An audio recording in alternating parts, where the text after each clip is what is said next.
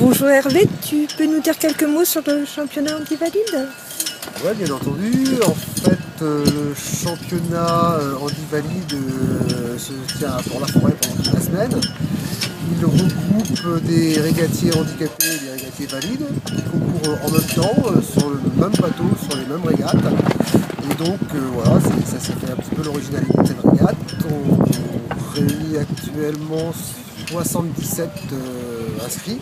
Donc c'est un beau championnat, on a pété le record, donc c'est très bien. Et euh, voilà, tout se passe pour l'instant très bien, il y a beaucoup d'animation, beaucoup de travail aussi, mais ça fait partie du show.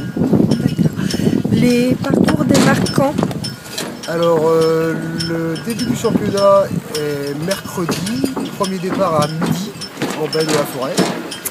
Euh, mardi, la veille, il y aura une régate d'entraînement pour mettre tout le monde en place, autant les régatiers que les organisateurs. Et euh, mercredi, jeudi, vendredi, donc les, régates euh, jusqu'à vendredi soir, euh, remise des prix, cérémonie de clôture, repas. Très bien. Merci Hervé. Oui.